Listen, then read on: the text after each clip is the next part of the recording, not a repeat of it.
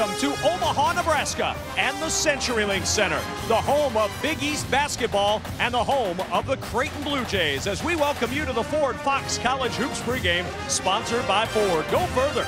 And tonight, the Arkansas Pine Bluff Golden Lions are loose and ready to go. They'll try to knock off the high-flying Blue Jays on their home court tonight. And we welcome you to Fox College Hoops on Fox Sports 2 as the 2 and 7 Golden Lions take on the 7 and 2 Creighton Blue Jays. Hi again, everybody. Alongside three-time NBA champion Dickey Simpkins, I'm Kevin Kugler, and it's a rare thing in college basketball, Dickey. Creighton's got a lot of seniors that lead the way. Kevin, that's a very rare thing when you have a core team of seniors. And when you have senior leadership, it makes a coach's job a little bit easier. And one of those seniors, Doug McDermott, Mr. Efficiency. He's scoring 25 points a game, and Kevin, most importantly, he's 45% from behind the three. A chance to see one of the most dynamic players in the country, and a chance to see Big East basketball coming up next from Omaha, Nebraska on Fox Sports 2.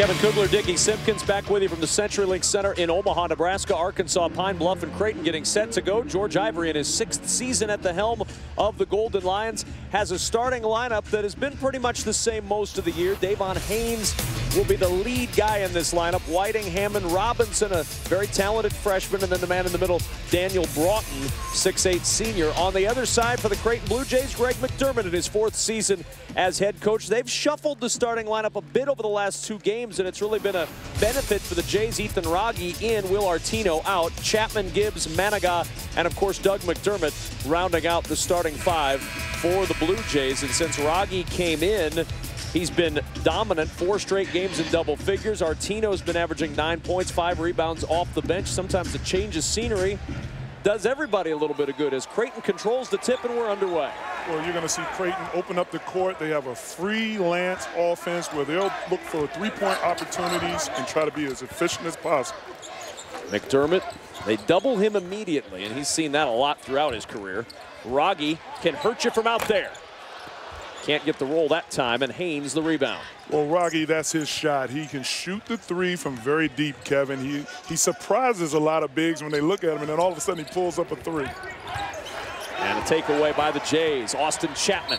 And a foul is called. Hammond trying to get back defensively. Tevin Hammond commits the personal. That's his first. Well, Coach Ivory of Arkansas Pine Bluff was very concerned going to, into this game about turnovers. This team has turned the ball over a lot in their past games. Well, they are worst in the SWAC, averaging almost 18 turnovers per game. Cannot do that against the Jays, who love to put the basketball in the hoop. This is a high-scoring Creighton squad. And Grant Gibbs trying to get the Jays on the board. A whistle and a foul underneath, battling for that loose ball. It's going to go against Arkansas Pine Bluff. Tevin Hammond with his second personal foul. Well, when you look around, look at the perimeter play of Creighton, they move the ball efficiently so they can get open shots. We'll have a chance to move it around again. Already foul trouble for Hammond, and the alley-oop to Doug McDermott to start the offense for the Jays. And the lob play ran to perfection on the out-of-bound, baseline out-of-bounds play. Normally, Kevin McDermott is shooting threes, but he has the ability to play above the rim. What do you expect to see offensively from this Golden Lion squad? The Golden Lion squad, they'll play a lot of ball screen. They'll try to go up-tempo and get Robinson shots. He's a scorer.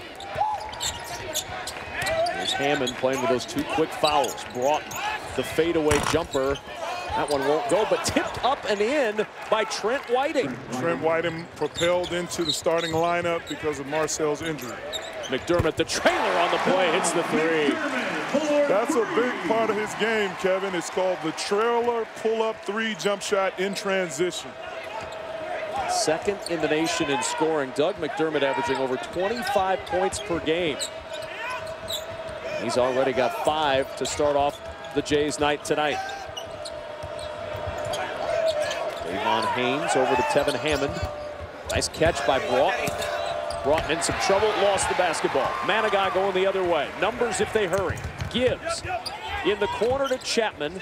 Back up to Manigat. And a good job by the Golden Lions getting back and recovering defensively. Well, that's just a, a key situation by their seniors, knowing to be poised and patient. And then Wragge hurts him with the three.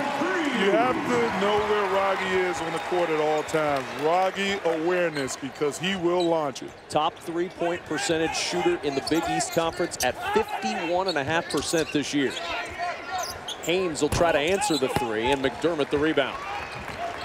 The 15th three that Haynes has taken this year. That's not necessarily his game shooting from behind the arc. No, he's more of a slasher, attack guy. They look for him to score a lot. He's their go-to guy. McDermott lost that one, but then it's almost turned over. Robinson hustling. Whiting ahead, and Whiting's finger rolls short. Haynes stays with it, can't get the roll. And another offensive rebound. Robinson will launch the three. And that rebound tipped over to the Blue Jays.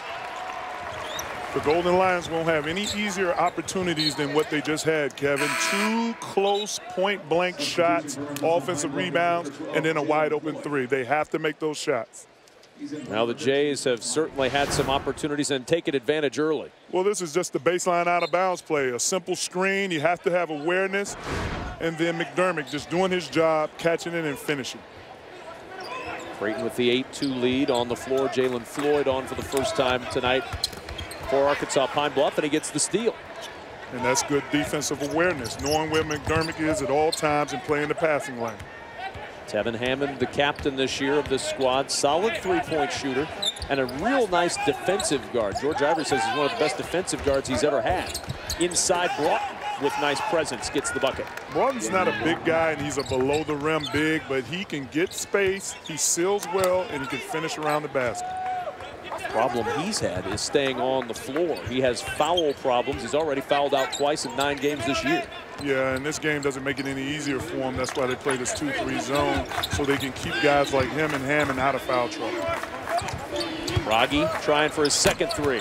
McDermott the offensive rebound, working against Broughton. Good defense by Broughton down low. Chapman, Wragge bobble over there. Wragge was already anxious to shoot that three. Manigat. Now Wragge will get the chance to shoot it, and he drains it. Second time's the charm for Ethan Wragge as it drains home. Second three for Wragge. 11-4 Jays with the lead. The one thing you have to know when you play Creighton, the whole team shoots 44% from the three. In the Big East, and there's a turnover.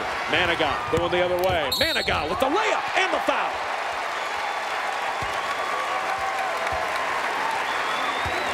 The Jays get the transition game going as the foul comes on Giovanni Robinson, his first, and a chance at a three-point play after this one. Manigat with the two plus the harm. He'll go to the line when we return. Jays trying to complete a three-point play. 13-4 the lead for Creighton alongside Dickey Simpkins. I'm Kevin Kugler. Let's talk your keys to the game. Well, the Golden Lions have to limit their turnovers. They average 17.6 turnovers a game, like you alluded to earlier. And then they have to go without the scoring droughts. And then Creighton, defend the small ball. The Golden Lions will play small ball. And when you defend it, the next thing you have to do is take advantage of hitting the offensive boards second chance points. Second chance points already, five tonight for the Blue Jays. Three turnovers already for Arkansas Pine Bluff. So if they would have just listened to you on the Golden Lions side. That's how easy it is, It's Kevin. just that easy. what I have to tell you about Dickey's keys, and you'll, you'll be able to be fine in the game. Creighton did, obviously. Five second chance points already. Haynes out to Robinson and now to Whiting. Arkansas Pine Bluff needs a bucket down 10 as Sean Tingle into the game for the first time. Tingle, nice up and under move. And George Ivory was talking earlier today about this young man. He said as soon as he gets confidence, he's going to blossom because he's got all the skills. He's a promising big for Coach Ivory. Very skilled. Footwork is very excellent and efficient in the post. Grant Gibbs, oh, what a pass inside to get it to Doug McDermott. That was a bullet. From Grant Gibbs of the foul on Tingle. Kevin, one of the things we talked about in the opening was the seniors, senior leadership. And these guys have played together. They know each other. Gibbs knows how to find McDermott whenever he cuts to the basket. Foul on Trent Whiting, his first, as McDermott at the free throw line. Hits the first 87% free throw shooter. We've seen him from three. We saw him dunk earlier. Where's the weakness in his game? I know you've seen it many times over his career. Does he have one? Well, he doesn't really have a weakness. I mean, I, I talk about efficiency. He just, he knows when to take shots. He takes good shots and he has a good feel around the basket. Offensively, he really doesn't have a weakness. I would say if it was a weakness, being able to create his own shot. Almost a backcourt violation. Davon Haynes able to track it down. Whiting. Oh, good pass inside to get it to Tingle, who had good position against Ethan Wragge. A very good position. That's called paint sealing. When you use your body, get wide, and put a defender on your back. That's carving out space. And what you tell a big man when he catches it in the paint, that's your opportunity to just go up and score.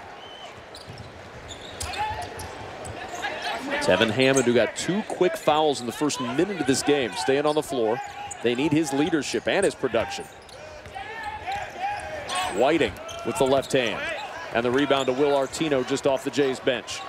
Whiting is one of the players that the Golden Lions really need to step up. He's very versatile, can play different positions, but they need scoring from him. Devin Brooks also on the floor for the Jays. He's got the basketball right now. Here's McDermott for three. Brooks with the rebound. Artino inside for two. And that second chance points. You have your guard going in, Brooks getting rebounds and sharing the ball with interior passing and an easy layup. 18 to 6, the Blue Jays with the big early lead. Davon Haynes quiet so far. He came in averaging 13 points a game. Long three for Robinson, and he hits the freshman. No fear from shooting deep. Robinson can definitely shoot. They will try to get him open and get him looks. McDermott will back it out to Brooks. Now Artino to Gibbs.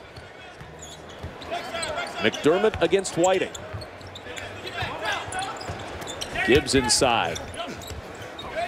Back out McDermott for three. Oh my goodness. Ball movement all over the place and McDermott drains the three. He's got 10. Well, I'm going to say this the whole game. Seniors core on this team, senior leadership, efficient guys, passing the ball, sharing it, and taking open shots. 21 to 9. Creighton already four for seven as a team from three. Haynes off the mark. McDermott the rebound. Manigat with Gibbs looking inside, and that's knocked out of bounds by Tevin Hammond. Well, just terrific ball movement by the Jays on that last three. Well, Kevin, it's the holidays. Just sharing the ball, Christmas. Give it, it called givers. Being able to get an extra pass, make the extra pass, and you have an open look and splash a knockdown three. So McDermott will get a breather right now, just ahead of the under 12 timeout. As Greg McDermott sits his star and son on the bench for the moment. Avery Dingman will lob it in. Here's Wragge. He can certainly score in a hurry. Can't hit that one. Artino with the offensive rebound and the putback. Why has he been so much better over the last couple of games off the bench? Well, sometimes when you make some changes in your rotation and you bring a guy off of the bench, he kind of gets a new surge, a new life, some more energy, and he's a little bit more focused on his role when he comes in the game. He's got four points and a couple of rebounds already off the bench today. Over the last two games, nine points, five rebounds a game. Yeah, he came into the Nebraska game, the last game that Creighton won, and he was very uh, efficient in rebounding, putbacks, and scoring in the paint. Had his best scoring game the game before in his first game off the bench against Long Beach State, put 13 on the board. Manigat with six on the shot clock. Manigat gonna have to force this. Here's Brooks with one to shoot. And Brooks does not draw any iron, and that is a shot clock violation and a timeout on the floor. 11.33 remaining in the first half. The Jays have been doing it from the outside, but even when those shots don't fall, some help from the inside, and Will Artino helps the Jays to a big early lead. They're the Big East's top three-point shooting team, and they're off to a good start. Well, when you see a three, be a three. Wragge knocking it down, and this is what he does. What goes up must come down. And then the star, trail a three-point shot, and you have to know where he is at all times. Nothing but lining it up, knocking it down, nothing but net. Three things you need to know about Creighton from three. They've made 107 this season. That's second in the NCAA. They average over 11 made per game, also second in the country. And at 44% this year, they're sixth in the NCAA. They're 44.4% tonight. I'd say they're right on pace. they're definitely on pace, but to have that part of your game be such a strong piece of making shots. So that means, Kevin, when you play against teams, if they play in a zone, if they try to play tough man to man, if you get yourself open, this team, Creighton, can shoot the ball.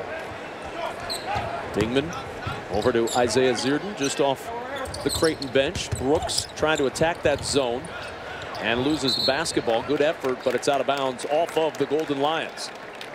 Yeah, when you're attacking a 2-3 zone, you definitely want to penetrate the zone on either a dribble or on a pass, and you want to get your best playmaker in the middle, like Brooks. Kevin Brooks, the junior from Harlem. First native New Yorker for the Jays since the 2005-2006 season, and he could be an electric player.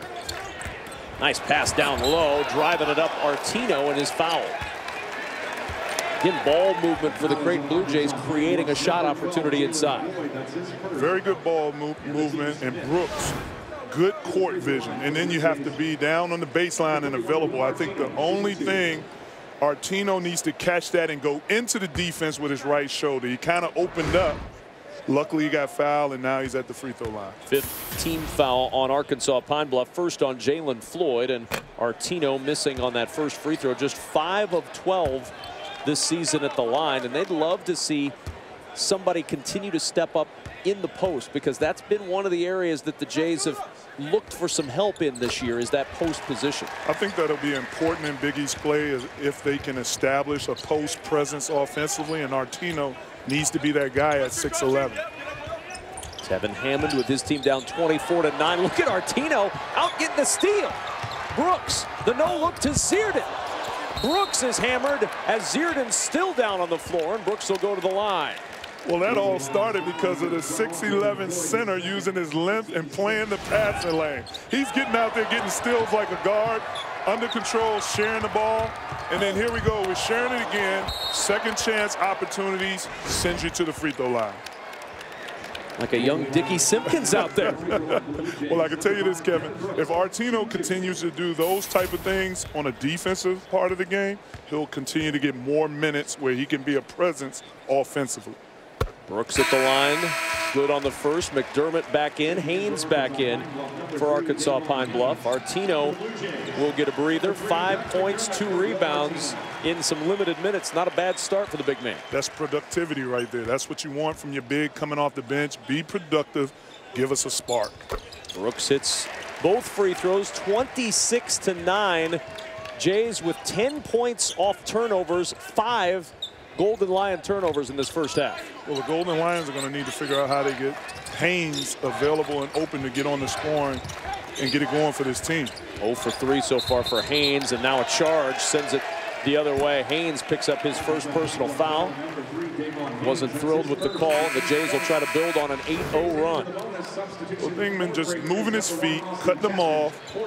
Haynes did his dipped his little shoulder a little bit, by trying to over-penetrate, Kevin. Dingman now for the Jays. Out to Austin Chapman. Wragge in the corner. And you see Doug McDermott floating around the free throw line. That's your playmaker. And then he has the ability to step out. Zierden open for three. And the rebound inside for DeAndre McIntyre.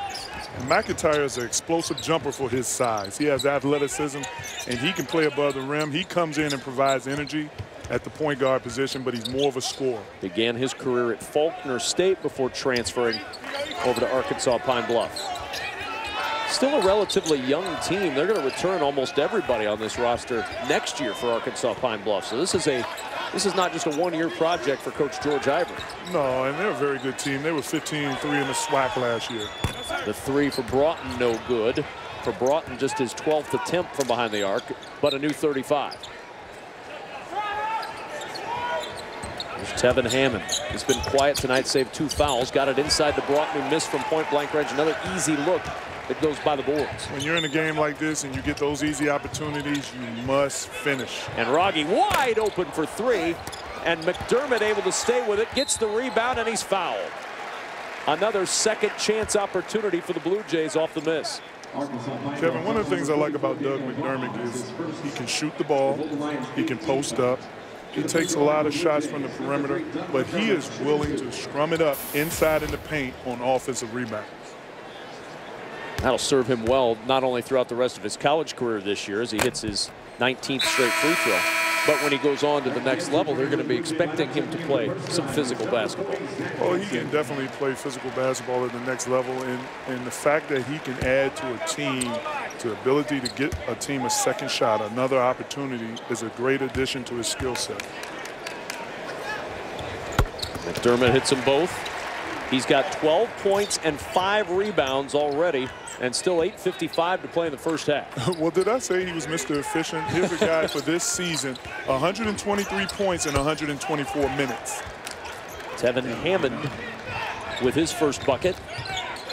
28-11. Jays by 17. And a steal. Broughton got a hand on that one. Hammond navigating up, and he couldn't hit Haynes in transition. And it'll go out of bounds to the Jays. Well, Hammond is doing his job. He's the floor general for this Golden Lions team. He's pushing it. His eyes are up, seeing who's running the court.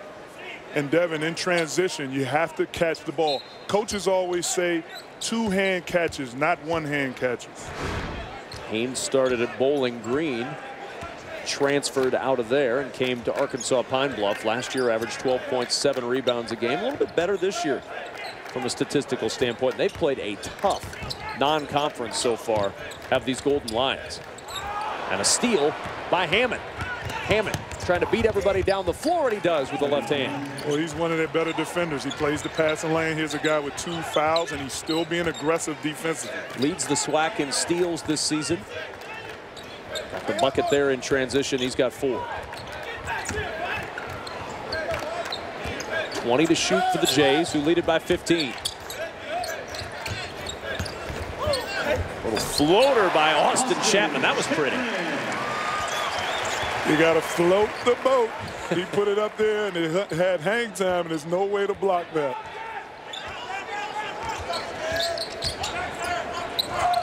Zierden got a hand on that one. Stays with the Golden Lions. Robinson around the screen of Broughton. Hammond backs up for two. And Hammond's starting to heat up. He's got six. He's being aggressive offensively. That was close right there. The referees could have called him for an offensive push-off, but nevertheless, an excellent step-back move. He's got to be careful playing with those two fouls. He's done a good job so far. Got the two in the first minute of the game. Yeah, and there was no way Coach Ivory could have took him out of the game, even though he had those quick two. He's a very important factor for this team. Turnover to the Golden Lions. DeAndre McIntyre had the steal, and now the three for Hammond. He's starting to feel it a little bit. A whistle and a foul underneath Gibbs with the push of Davon Haynes, and the foul on Grant Gibbs will keep it with the Golden Lions of Arkansas Pine Bluff.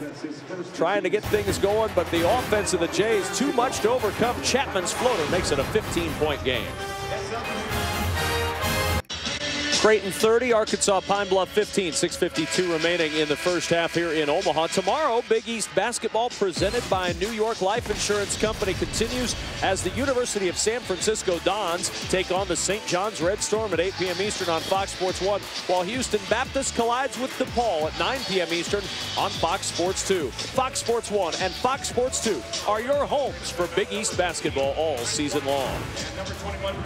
The Jays in the new Big East this year and off to a tremendous start tonight 30 to 15 the advantage for the Blue Jays and they'll press a little bit as the Arkansas Pine Bluff Golden Lions inbound. Off the bench Chandler Savage on the floor for the first time for the Golden Lions. Three for McIntyre and the rebound to Ethan Wragge. And then it goes out of bounds off of Wragge. It hit the bottom of the backboard and then went out over the baseline. So it'll belong to Arkansas Pine Bluff. That's a good call, Kevin. But if you look at the Golden Lions right now, I talked about this earlier. They're a small ball right now. If you look at their lineup, the tallest guy they have in the game is Whiting, as we see if it went off the backboard. Let's see. It got poked out, looked like maybe by Trent Whiting. Crowd certainly not agreeing with the call, but Golden Lions will take any extra possessions they can get.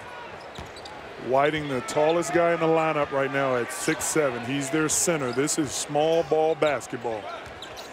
And this doesn't surprise you to see them go with this small lineup, does it? No, absolutely doesn't. You know, I figured at some point in time they would go small ball to kind of speed up the game, be able to press, play the passing lanes a little faster, have guys who can go off the dribble.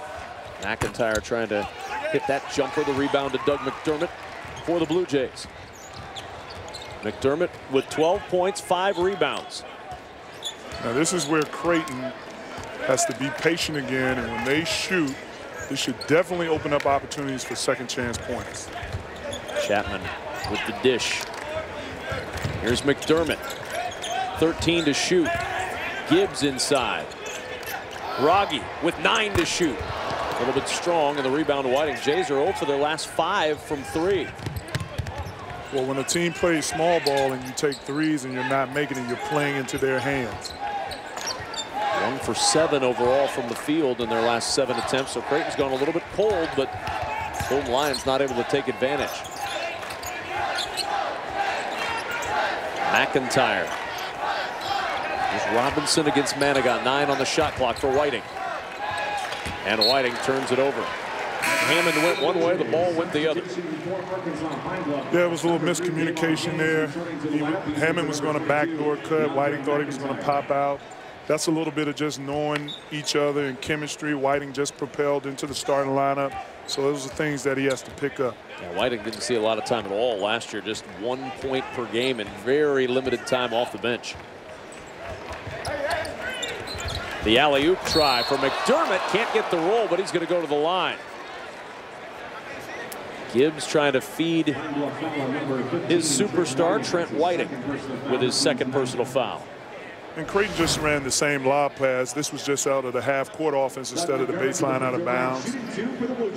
The Golden Lions have to recognize that, and it's a wide-open opportunity.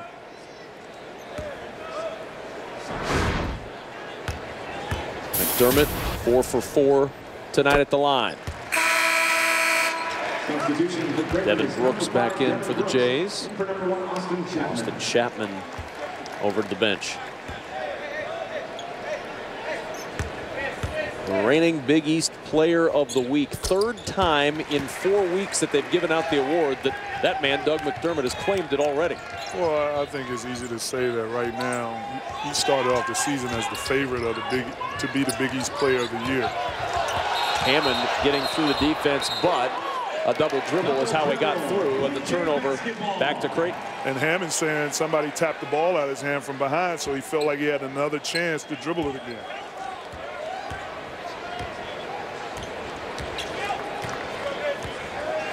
4.42 to play in this first half. Creighton by 17. Grant Gibbs rotates around Brooks now, looking inside for McDermott. They find him. And then back out to Wragge alone for three, and he hits that one. And Wragge gets that shot because you put your playmaker in the middle, and whenever you get a pass in the middle in a zone, you look opposite if you don't have the open shot. And who was opposite? Wragge for an open three. Three for eight from Wragge, all from three. He's got nine points. Largest lead of the night for the Blue Jays. Davon Haynes. The fadeaway is good, and Haynes finally on the board. That's his first bucket. And he's going to have to carry that over throughout the rest of this half so he can give the Golden Lions a spark. McDermott for three. Whiting the board. And Arkansas Pine Bluff down by 18 going to work. Hammond on the drive is fouled. And Tevin Hammond with that quick first step picks up the foul on Devin Brooks. But the Jays finding the perimeter once again. Ethan Wragge camping out in the corner, hits the three. 18 point Blue Jay lead. Creighton 35, Arkansas Pine Bluff 17. Kevin Kugler alongside Dickey Simpkins back in Omaha. Friday, January 3rd, one of the best bowl games of the year is on Fox as the 13th ranked Oklahoma State Cowboys take on James Franklin and the 8th ranked Missouri Tigers. The AT&T Cotton Bowl Classic is Friday, January 3rd at 7.30 p.m. Eastern, only on Fox. Doug McDermott, 14 points, six rebounds. Ethan Wragge with nine points for the Blue Jays, each with multiple three-pointers made tonight. In fact, they have made all of the Jays made three-pointers as Tevin Hammond goes to the line for Arkansas Pine Bluff. And that's Doug McDermott with 14 points in 14 minutes. He's, I, believe efficiency was the word you used. yeah, I mean, doesn't get any better than that. I mean, he came into this game 123 points to 124 minutes. Brooks. Jays in their first game in nine days. Finals week is over, so you got to imagine everybody's feeling a little more relaxed, feeling a little better about life now that that's done. Back out on the basketball court. Eight to shoot for Gibbs. Manigat with four on the shot clock. Manigat, the long three. And the rebound inside for Savage. Good defense by the Golden Lions. Jays didn't really have a good shot. Savage now on the attack. Well, that was the defense the Golden Lions needed because they Creighton went the whole shot clock. If they would have gave up a second chance at the end, that would have been tough. But the turnover number 10 for the Golden Lions, and then a foul on Davon Haynes. A little defensive work here by the Jays. Well, Gibbs did the right thing. He's fronting. He's trying to get around in front of score. And if you front a score, you have help on the backside, and then you can get your hand on the lob pass. Shooting two for the Jays is number 10, Grant Gibbs. Haynes is frustrated tonight, Dickey. Two points, two fouls. You can see it on his face. Very frustrated. And when you come into this game and you're a main player for your team, that means the opposite team is going to key on you. So you have to figure out, your coach has to figure out, your teammates have to figure out, how do we get you the ball to make the game easier for you? Gibbs good on both free throw attempts. First two points tonight for Grant Gibbs.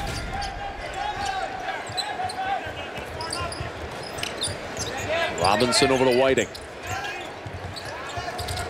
Hammond, long three. Wragge the rebound. For Wragge, that's his second board. Jays hustling it up the floor. Manigat on the drive. He is fouled. And Manigat to the line for a pair. Well, I like how Creighton took advantage of that defensive rebound. They pushed it out in a fast break opportunity. It was one pass, kick up court. Here you have the rebound by Wragge. He doesn't hold on to it, kicks it up to Gibbs. One dribble, pass up, one dribble, attack the basket. That is a fast break transition opportunity that you have to take advantage of. Free throw good for Manigat. Doesn't see a lot of attempts. That's only his fifth free throw of the year. He's only had five attempts. He's made five as Whiting sits down, Broughton back in. Well, he's more of a, a, defensive vocal leader for this team, an energy guy. He's their best defender. And he knows who he's playing with. Again, he's a guy who's a, a senior, knows the guys around him, and knows that they're offensive threats. 39-18. Arkansas Pine Bluff, 10 fouls, 10 turnovers, 8 field goals. That field goal number is not the one you want to be the lowest of those three.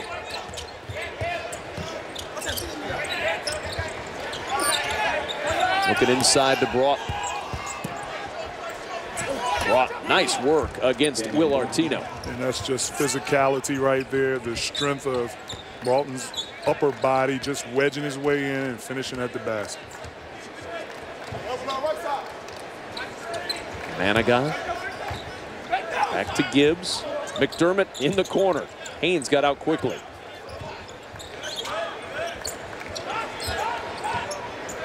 Back around to Brooks. Brooks going to work. Threw it off the backboard. And it goes out of bounds to Arkansas Pine Bluff. Coming up at the half, Rob Stone and Bill Raftery will be in our Fox Sports studios.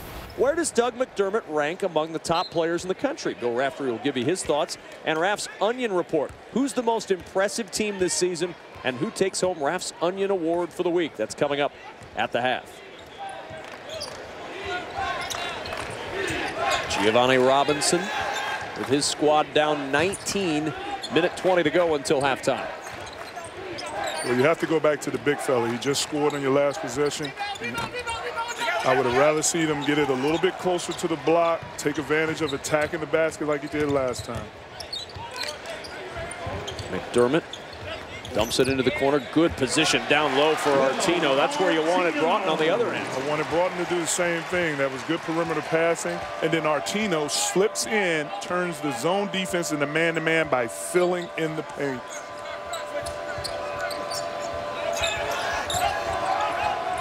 Haynes backing up with 18 on the shot clock.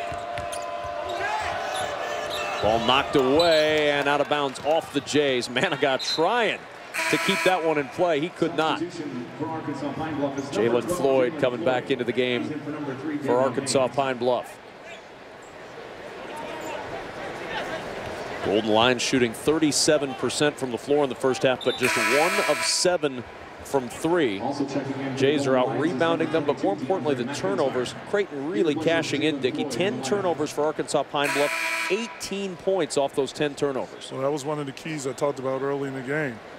Coach Ivory was concerned about the turnovers, and obviously they averaged 17 a game. But right now, Arkansas Pine Bluff, it's imperative that they try to get offensive scoring right here in the final seconds of the half.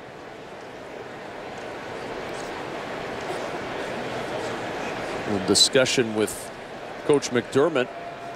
First, there was a visit to the scorer's table. Foul situation, 10 for Pine Bluff, only three in this first half for the Blue Jays. And the crowd was very quiet to help Coach McDermott be able to hear what the referee was saying. Eight to shoot for Hammond, who gets it down low to McIntyre. Nice reverse by DeAndre McIntyre and a timeout. 28 seconds remaining in the first half. Creighton with a 41-22 lead.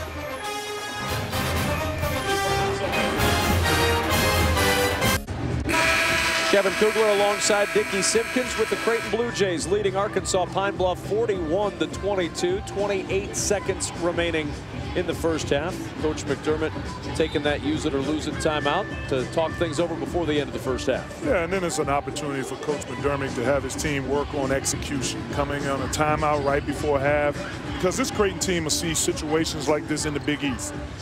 Needing a timeout before half and needing an important basket, so why not work on that in this particular situation It's such an experienced lineup. You wouldn't think necessarily that would be something that Coach McDermott would want to do, but he's always coaching this squad one of the most experienced in all of college basketball.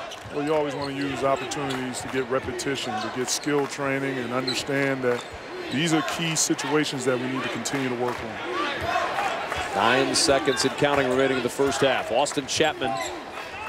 Gibbs with four seconds. Chapman in the corner. The three for Manigat is good as halftime is here. Jahenns Manigat rains it down to make it a 44-22 halftime lead. I don't know if that's the way the play was made to run, but when you get a made shot, it makes a coach look good. You have the kick, Manigat gets to the corner, lets it fly, and knocks it down. Coach drew up a play. I don't know if it turned out the way it's supposed to, but a made shot makes you look great, Kevin. Manigat with the three. His first three of the first half. Not a bad time for it for the Blue Jays as we've reached the end of the first half here in Omaha with our score. Creighton 44, Arkansas Pine Bluff 22. Stay tuned after the break. Rob Stone and Bill Raftery will be in our Fox Sports studios for our halftime report. The Jays with their biggest lead of the game, and it comes at halftime 44 to 22.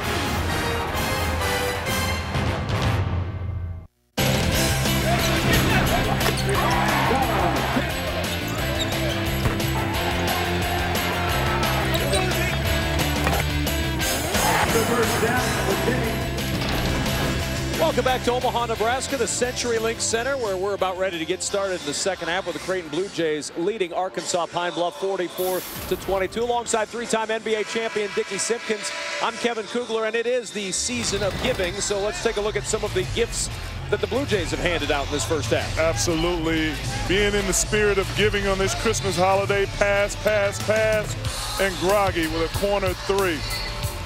Look how quick the ball moves, the precision on the pass, and then Wragge again benefiting from the sharing. And it, seniors just passing, giving each other the ball, and Art, Artino down low in the paint. Sharing is caring. And they've cared a lot in this first half. 50% shooting, only six turnovers for the Jays. You see the second chance points, 10 assists for Creighton as part of that whole sharing theme. And 18 points for Creighton off turnovers. You said at the top of the broadcast that Arkansas Pine Bluff had to limit their turnovers. They have not, and the Jays have made them pay as the foul Davon Haynes on the drive, the foul going against Grant Gibbs for the Blue Jays. Yeah, you can't have both. You're giving up 18 points off of turnovers and you're giving up 13 points in second chance opportunities. You have to really limit one of them. We know that they're outmatched as far as size, but you have to limit the turnovers. Haynes at the line, a little bit strong, but he got the roll. He's just a 60% free throw shooter, but talking with Coach Ivory, and he says Davon Haynes is quite simply a guy we cannot do without. We've got to have him on the floor, and he's got to be productive for us to be successful. Absolutely. He's a preseason all SWAC conference selection. He has to be productive for this team. You see they came out in the second half, and Hammond found them quick to try to get them going to produce for this second half if they're going to have a chance. Chapman to McDermott against Broughton. And a foul is called on Daniel Broughton. That'll send Doug McDermott to the free throw line. 14 points, eight rebounds in that first half for the All-American Doug McDermott. And Hammond is telling Broughton right there, when you're getting posted up, McDermott gets it, you have to keep your hands straight up. He bent his arms over and hands over, and that's an easy call for the referee. You've talked about the efficiency of Doug McDermott. 138 points in 142 minutes at home this season. He's been efficient all over the place, but certainly at the CenturyLink Center, he has very much found his comfort level this year. That's the kind of player that you want on your team, especially when you have that type of efficiency. You know and can rely on him on the offensive end of the court. Freshman Giovanni Robinson finds Hammond, who goes inside to Broughton. Broughton got good position, missed that one. Whiting with another chance. Robinson back to Whiting for three. And the rebound to Manigat. And on that possession, the Golden Lions had two good looks, one in the paint and one from three. Didn't capitalize on either one. Nice play by Haynes to tip that pass and start it the other way. Davon Haynes backing it out to Tevin Hammond. Arkansas Pine Bluff down by 22. Hammond on the drive all the way to the basket. Broughton with the rebound, and then he falls and travels. Blue Jay basketball. Well, starting off this second half, the Golden Lions are getting the opportunities they want offensively. Drives to the basket, second chance opportunities, open threes, Hammond driving hard, but they're not coming up with anything. They're working so hard, and they're coming up short. So Austin Chapman will walk it the other way for the top scoring offense in the Big East. Creighton averaging over 83 points per game this year. Had some fits and starts tonight in their first game back after the nine-day layoff, but certainly a comfortable game for Creighton. Manigat trying to add to it, cannot. Offensive rebound for Ethan Wragge, and it's out of bounds to the Blue Jays. And they had final exams this week, and to come off of using your brain power, your brain energy, studying for tests, you come into this game where you have to refocus your mind basketball-wise. The nice thing about this time of year is you don't have to refocus it while still doing anything with your classes. You've got a couple of weeks to just concentrate on basketball. Absolutely. You'll just be seeing the gym, your room, the shower, practice, and games. They've got a big one coming up this weekend against Cal on Sunday on Fox Sports 1. Wragge with the three, a little bit strong. And in the corner, rebounded by Davon Haynes. Well, if you're a player, you have to love to play in Coach McDermott's offense. It's a freelance offense. The opportunities to score is for everybody. And if you have an open look, you have to let it fly. Hammond had an open look, and he hit the three. Hammond, with his first made three, he's got 10 points. And the six-foot guard is having to step up offensively and defensively for this team. Grant Gibbs on the drive, and Gibbs tied up on his way to the basket. Possession arrow keeps it with the Blue Jays.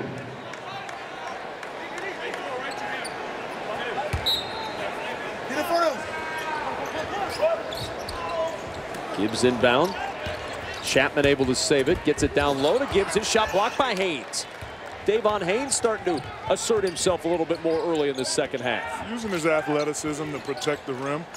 And then the three again for Tevin Hammond. Back-to-back -back threes for the junior for Arkansas Pine Bluff. The Jays 0 for 4 from the field in this half, and Arkansas Pine Bluff creeps to within 16. Well, Coach Ivory said that Hammonds was the toughest guy on his team, and you see that toughness right now, that competitiveness. He wants to win this game. He wants to give this team a chance. He had 16 against Morehouse College. That's his best game. He's got 13 tonight. And now the Jays 0 for 5 from the floor in this second half. As Arkansas Pine Bluff will walk it up. A little more spring in their step right now. Well, I would say that spring in their step was probably comes from a result of a good talking at halftime by Coach Ivory. Broughton will back out for three. And the rebound to Chapman.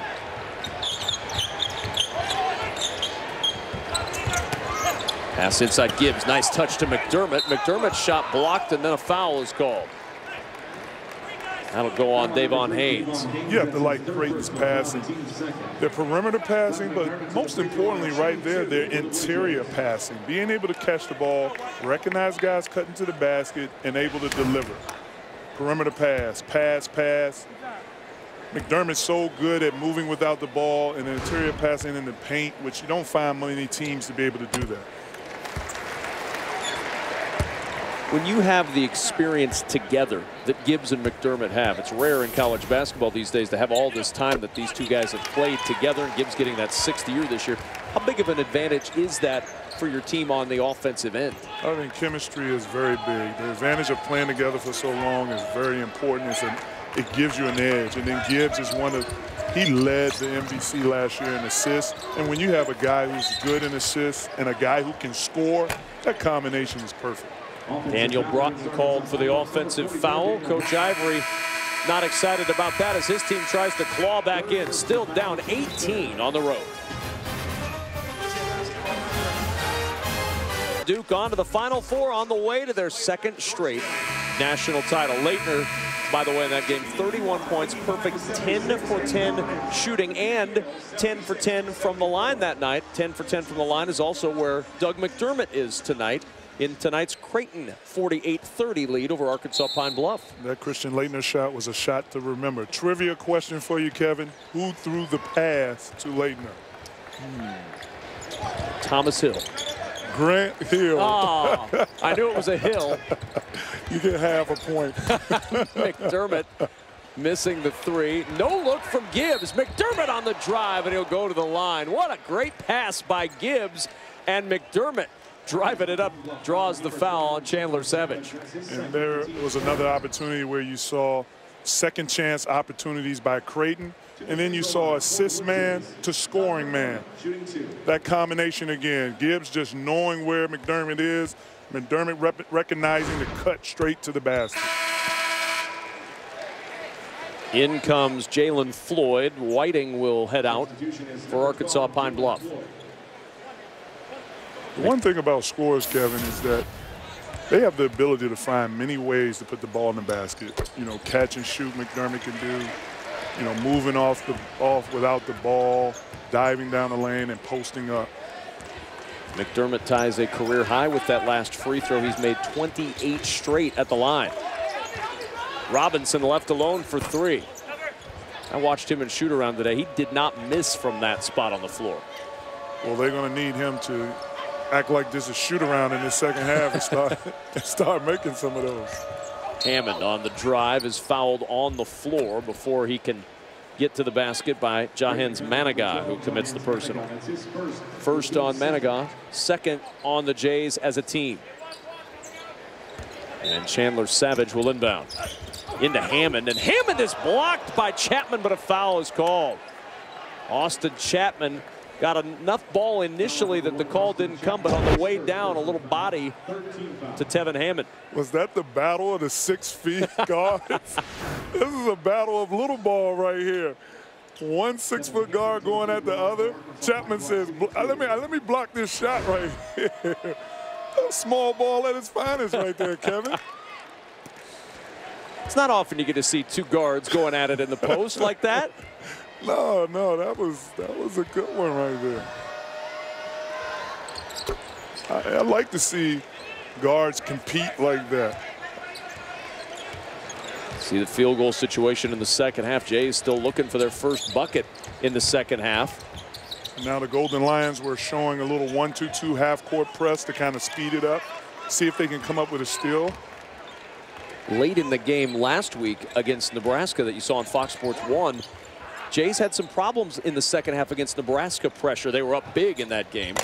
As the three is no good, rebound tipped over to Hammond. Hammond had numbers for a moment, and then the foul is called on Austin Chapman.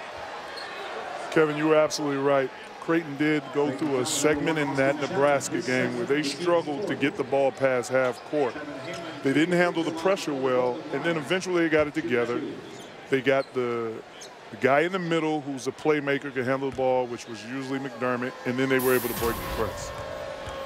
Tevin Hammond at the line. He had a slow start tonight with those two quick fouls, but he has rebounded nicely. 15 points for Hammond, same that he had against Oklahoma State and Texas A&M. And if you think that sounds like a tough schedule for Arkansas Pine Bluff, it has been. They have been on the road all year. Not one game in their home court and they will not play a game at home until January 18th. George Ivory packs the bags, and they stay packed for months at a time. Well, talking to Coach Ivory, that is on purpose. That helps this Golden Lion team for the SWAC conference. You got to keep in mind, Coach Ivory has done an excellent job. They finished second last year, tied for second, with a record of 15 and 3. McDermott with the turnaround at the foul line. Rebound tipped over to Brooks. Nice save by Artino. Brooks on the drive all the way to the basket. He'll draw the foul. And Devin Brooks heads to the free throw line. Foul on Chandler Savage. That's his third personal. Three on Broughton, three on Haynes, and now this one, the third on Savage. Well, Devin Brooks, a little New York City, straight from Harlem move, the inside out, left hand dribble to attack the basket. Inside out, one of the favorite dribbles I like because it's very effective. You get a guy off balance and you attack right at the rim. Brooks good on that free throw. Three points tonight, all at the line for Devin Brooks. Came over from Iowa Western Community College, which is just across the river from here in Omaha in Council Bluffs, Iowa. Brooks, the native of Harlem, scored over a thousand points in his two-year junior college career.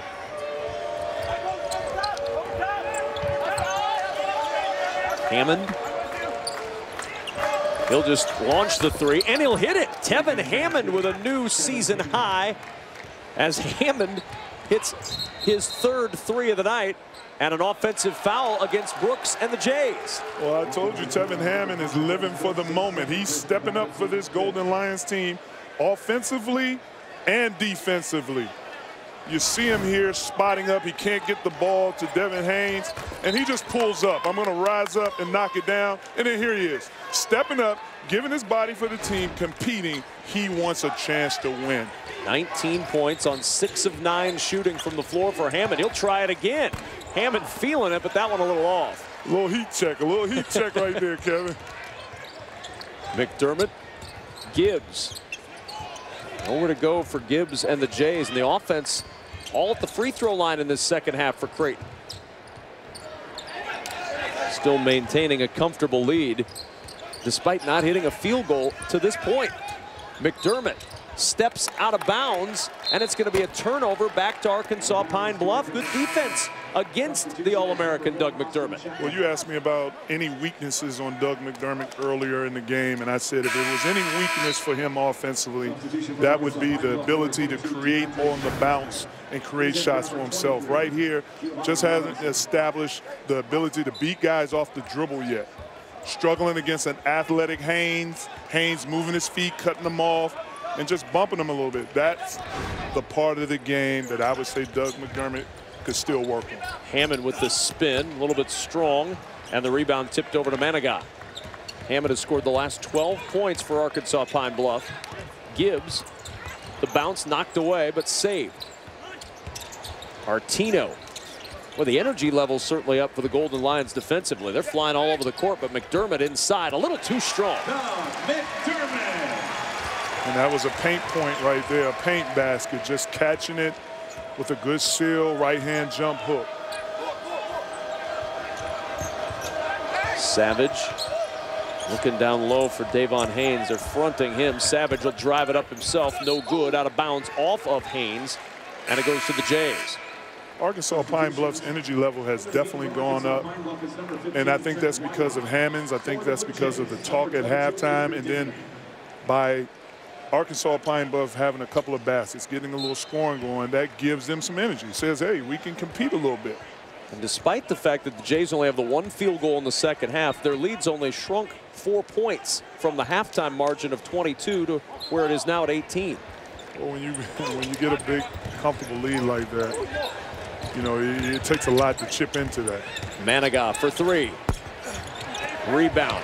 Pulled down by Avery Dingman. Sky and high for the board.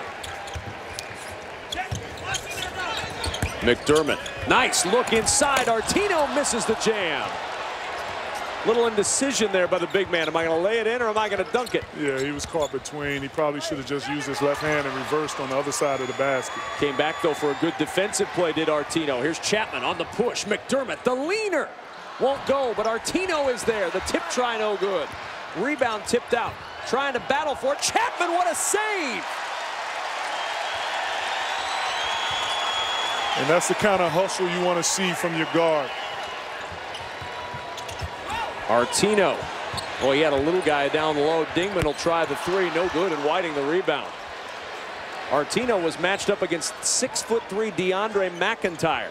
And you have to throw the ball to Artino. Just throw up in the air, let him catch it. He does a good job of keeping it high when he has it around the basket. Out of the hands of Haynes and out of bounds to Creighton. 11.02 to play in this one. The Creighton Blue Jays with a 54-36 lead at home, trying for their eighth win of the season.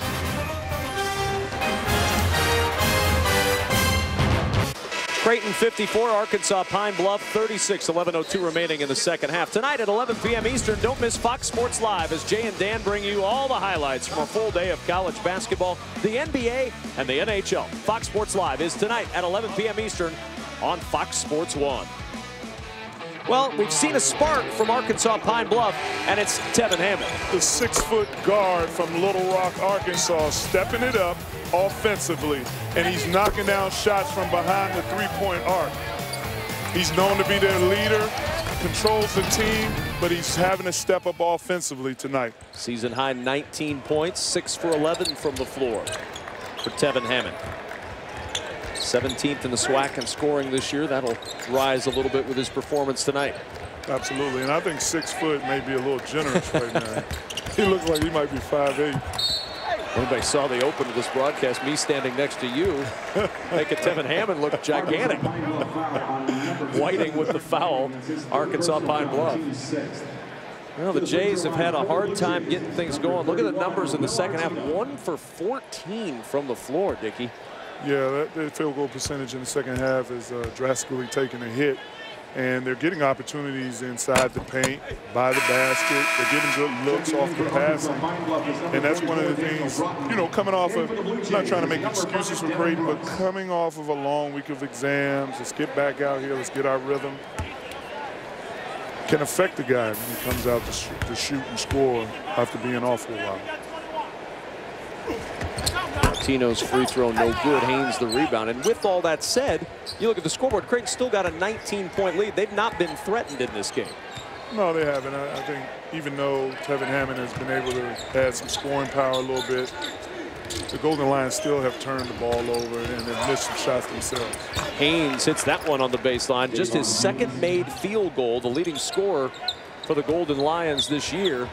Has had a slow night tonight, just six points. Well, he had 18 points in their last game, but that's the aggressiveness that we needed to see in the first half to help kind of contribute to this team in scoring. 10 minutes to go. Chapman on the penetration, dishing to Brooks.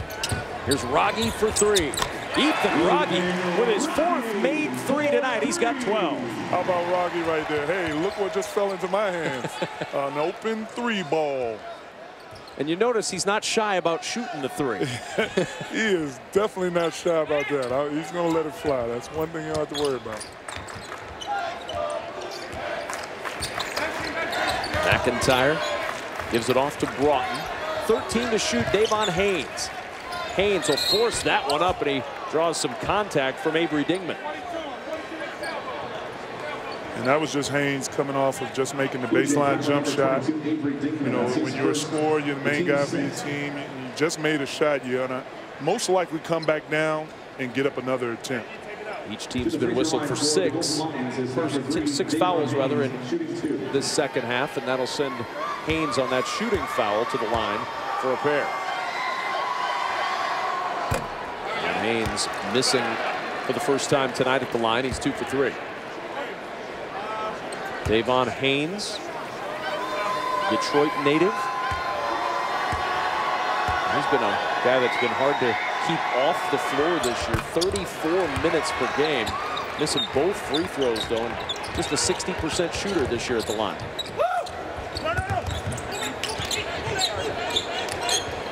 Now the Golden Lions will have to extend their zone a little bit, put a little bit more pressure on Creighton, try to come up with some steals here in the passing lane. Got the hands on that one, but couldn't get the possession.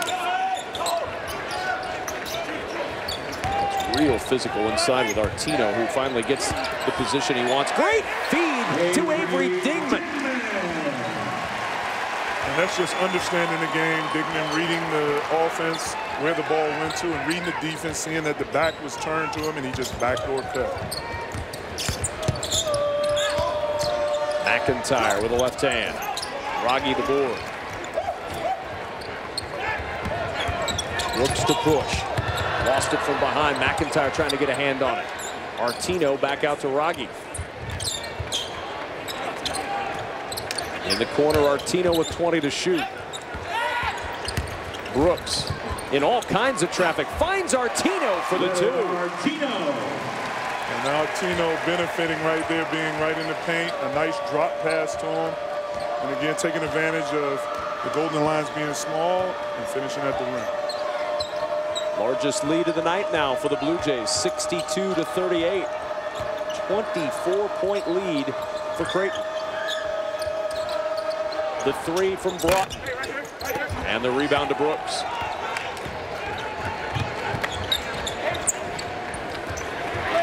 Wragge, his shot thrown out of bounds by Davon Haynes. Skying there on the Wragge three. Timeout on the floor. 7.42 remaining in the second half. And Will Artino going to work inside. Gets the two to help add to the Jays lead. 62-38 Creighton with the lead 742 remaining in the ball game and now class is in session as we welcome Professor Dickey Simpkins. Kevin let Professor Dickey take you in the lab. We have Croggy right here with the ball. We have Artino in the middle making himself available and Dingman over here. Dingman sees the defensive man back turned to him and not paying attention and it's an easy backdoor cut going right into the score Croggy passing it to the middle, making himself available. Backdoor man falls asleep. Attack the basket, bucket. Just trying to teach you the game, Kevin. That's Bas all. Basketball's an easy game when you explain it like that. Hey, I'll be having another class sometime soon, all right? your tuition charges are extremely high. I just got your bill. Zierden for three. Seven on the shot clock. And the freshman Isaiah Zierden hits the three. Now Zierden comes off the bench to help knock down some shots. Creighton struggling a little bit to make shots, and he comes off with an open three. As a coach's son, his dad Don's an assistant with Washington in the NBA, former head coach in the CBA for a lot of years. Haynes and a foul on Dingman. That'll send Davon Haynes to the free throw line. And Dingman's a little upset. He feels like he moved his feet. He felt like he kept his hands straight up, but actually his right hand was bent over, and that's an easy call in college basketball. If you're not vertical, Kevin, if you're not vertical straight up and you're leaning over any, that is an automatic foul. Haynes just two for four tonight at the line. He missed a couple a moment ago. Makes that one. Greg McDermott knows he's got a real solid basketball team this year in this Creighton squad. And this Creighton team is going to do big things in the Big East. I think they're going to surprise a lot of people in their Big East play. I mean, they're equipped enough with seniors and shooting ability to compete at a high level in the Big East Conference. They've got a guy in number three that's as good as anybody in the country. Well, that just helps a little bit. Brooks on the drive gets the two, and Devin Brooks has six. When you get a swing pass out of the zone and the zone rotates, you can drive right to the basket. Nice attack by DeAndre McIntyre to answer back with a two for the Golden Lions. Dingman, quick attack. Dingman with the layup. Little back and forth action now. And I like that with Dingman. You're getting pressed up full court. Once you get it past the half court and beat the press, you don't wait, you attack the basket. Teams that press don't like to get attacked at the other end. Hammond, tough catch, long three, and it's good. You think he's feeling it tonight? 22 points for Tevin Hammond on the road in Omaha. I think Tevin Hammond is making a big statement here playing in this on this stage versus this type of competition. Dingman works it inside. McDermott got the bounce, and he'll go to the line for one more. At the basket by Doug McDermott. And I think Doug McDermott was really looking for that type of finish. He, the last type of couple of field goal attempts he had, he came up short, and he was just searching for an opportunity to make contact, concentrate, and be able to finish. Look at him calling for the ball. He gets physical, puts his body into Haynes, and finishes. You know, if he has a similar season to what he's had the last couple of years at Creighton, as he steps up and hits the free throw. He's got a chance, Dick, to become the eighth NCAA player in history to go over the 3,000 point mark. It is a remarkable career that he's put together. He's at 29 straight free throws, a new personal best for Doug McDermott. But you're talking about some of the legends of the game, and Doug McDermott's got a chance to be among them if he just plays the average that he's put up over the last couple of years. 3,000 points. That's a lot of college points in four years. Most guys give you a little bit over 2,000 that are big scores, but 3,000 points in four years. Second in the nation in scoring this year, so he's well on his way. Averaged 23 points a game last year, averaging over 25 per game this year. And he's got 25 tonight. Nice bounce pass down low to Zach Hanson. Big man to big man. Interior passing. Big dropping it off to big. See the smile on my partner's face when the big men start passing it around. the big men have to get show him a little love too. McIntyre with the finger roll. At a timeout taken by Arkansas Pine Bluff. 4.46 remaining in the second half. George Ivory seeing a coaching opportunity here. A teaching moment also for Greg McDermott with his team up big.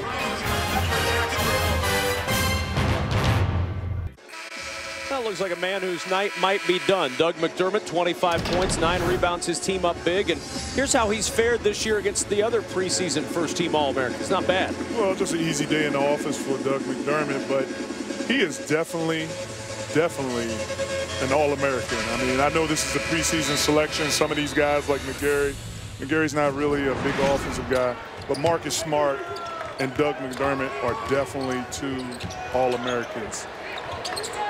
That pressure causing problems for Zierden. Brooks gave him some help. Now Brooks driving to the basket, and Devin Brooks, who knows how to score, puts two more on the board. And he came out of there flexing a little bit. Almost a steal for the Jays on the other end.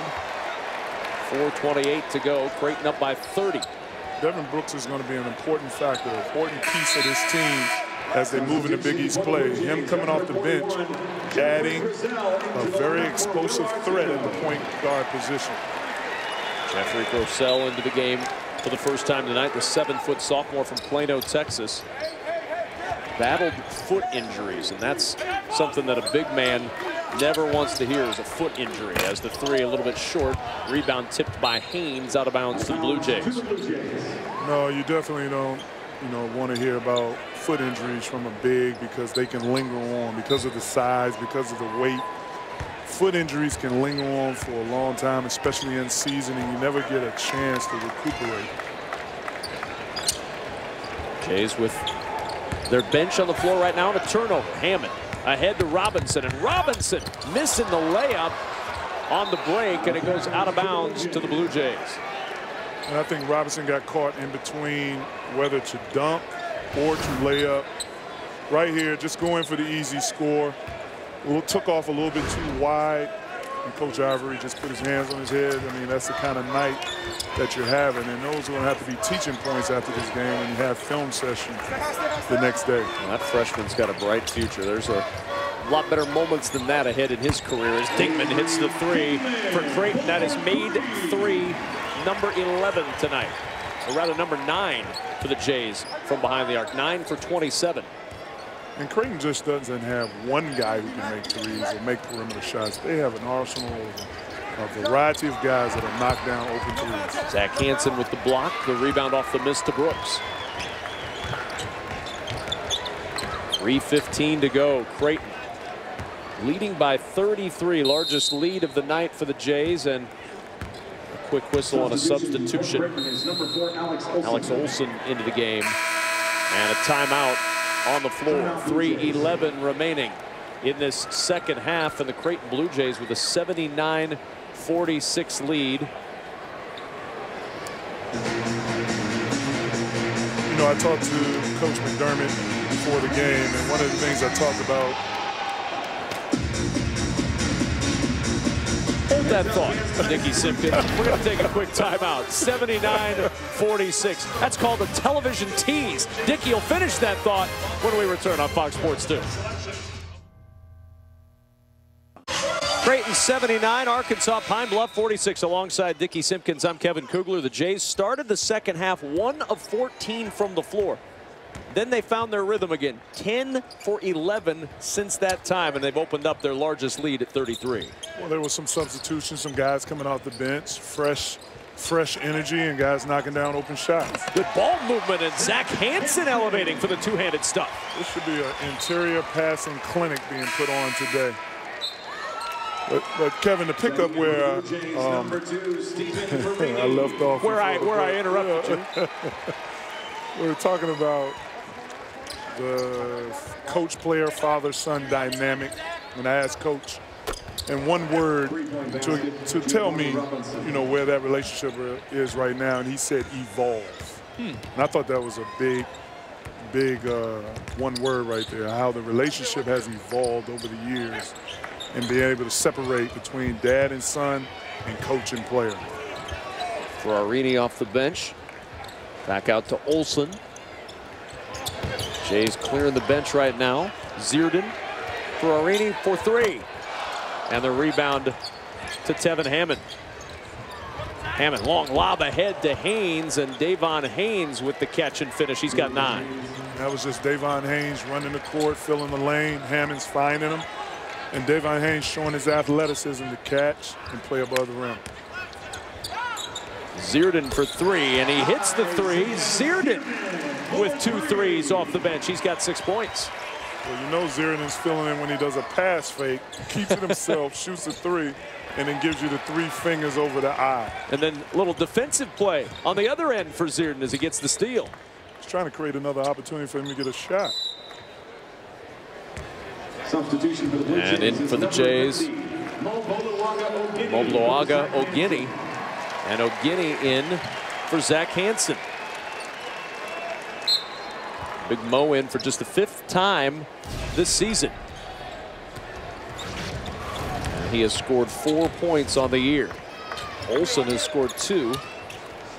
Jay's getting the guys who put in all that hard work at practice a little bit of time on the court now. Absolutely, and that's what you want to do. Coach finding an opportunity to get these guys in the game, show that their hard work is paid off and rewarding them with minutes. Hammond, the quick three, and the rebound to Zierden. Zierden with one minute to play here in Omaha and an 86-51 lead for Creighton.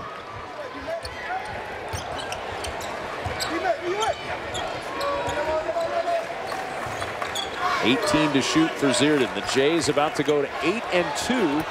The air ball caught underneath by McIntyre. Arkansas Pine Bluff about to lose their eighth straight game. And it's been a long, hard road for this Golden Lion squad. Not only have they been on the road all year, in the midst of this road trip, they got stuck for four days in Dallas in the ice storm a couple of weeks ago. Had to go back out to Oregon to make up the game they missed stuck in Dallas. As Groselle gets the two for the Blue Jays.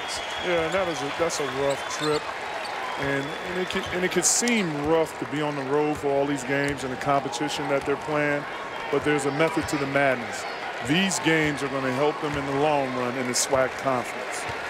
And they will just dribble this one out. Ball game is over, and the Creighton Blue Jays are now 8 and 2 on the season. An 88-51 victory. Their largest lead of the game becomes the final margin, and the Jays roll to 8 and 2. Arkansas Pine Bluff Golden Lions are 2 and 8, and our Land Rover player of the game, Doug McDermott, didn't do a lot from the floor as much as he did from the line tonight. Well, he got to the free throw line, and that's what scorers do. They find a way to put the ball in the basket. If I'm not making shots or I'm struggling a little bit, then get to the free throw line.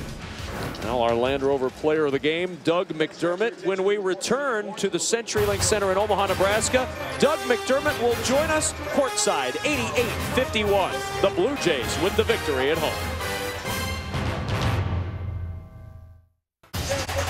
Creighton now 8 and 2 on the year, an 88-51 victory over Arkansas Pine Bluff back after a nine-day layoff and their eighth win of the season. Kevin Kugler alongside Dickey Simpkins, joined by the All-American Doug McDermott, who you told us during the break that you know, it wasn't exactly flowing on the floor for you, but you figured out other ways to score getting to the free throw line tonight. Yeah, you know, it was just one of those nights. You know, I got off a good start early, uh, but then kind of struggled from there. And, you know, when that happens, I like to try and get to the line and get myself going. And I thought we just did a great job moving it uh, against that zone. You guys shared the ball a lot in this game, passing it around the perimeter. What do you contribute that to? Is that because of your senior senior leadership and playing together? What leads to all that sharing the ball? Yeah, I think you said it. We just all we all know each other so well. We know each other's games. We've all been together for a while, and we know each other's roles. And we've worked against the zone in practice all week. Uh, try to get it to the middle as much as we could, and when it gets to the middle in the zone, usually good things happen. Is the excitement starting to build Doug, and I know you guys don't want to look ahead, but you know that Big East Conference play begins in just a couple of weeks. Is everybody starting to get a little bit excited about the test that's coming? Yeah, it's definitely in the back of our minds. You know, uh, we're just really excited, you know, for that December 31st game against Marquette. You know, it's going to be rocking in here.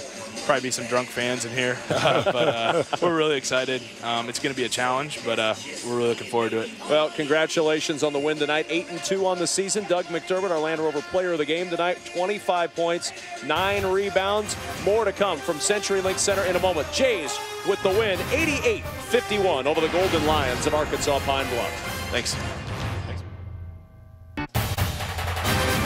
CenturyLink Center in Omaha, Nebraska. Creighton Blue Jays win here tonight, 88-51 over Arkansas Pine Bluff. The Jays had nine days off, and they got themselves back on the court tonight, Dickey Simpkins, and they did what teams are supposed to do in games like this handle their opponent. Arkansas Pine Bluff was overmatched coming into this one, and the Jays took care of them, made short work of the Golden Lions. Absolutely. They went to the boards for second chance opportunities, and they took advantage of the turnovers that the Golden Lions made, and they just capitalized. And then they shared the ball. When they share the ball, they look so sweet. They knock down shots, and that's a big contribution to them being seniors, and they're going to need that going into Big East play. Well, Doug McDermott said it, looking ahead to Big East play. That's in the back of their mind, that December 31st game against Marquette. They've still got two games to play, though, before they get there. Good Cal team coming in, and then Chicago State to push DePaul into overtime the other night. Yeah, those teams are just going to be help for the preparation for the Big East. This Creighton team is definitely going to compete at a high level because of the way they shoot, because of their seniors, and I, am sure they're all looking forward to playing in this Big East schedule. They're looking for some help inside, and there's been a lift off the bench with the shift of Wragge into the starting lineup and Artino coming off the bench. Do you expect to see that post play continue to develop? Yeah, I think they're going to stay with that rotation. Wragge gives you perimeter shooting. Artino gives you inside presence, and I think they'll stay with that so he can give a spark off the bench. Well, that's going to do it for us from the CenturyLink Center in Omaha, Nebraska. Coming up next, it's UFC Saturday night. Once again, our final score tonight from Omaha. The Creighton Blue Jays now 8 and 2 on the season with an 88-51 win over Arkansas Pine Bluff. UFC Saturday night is coming up next. Stay right here on Fox Sports 2. The Jays win it 88 51.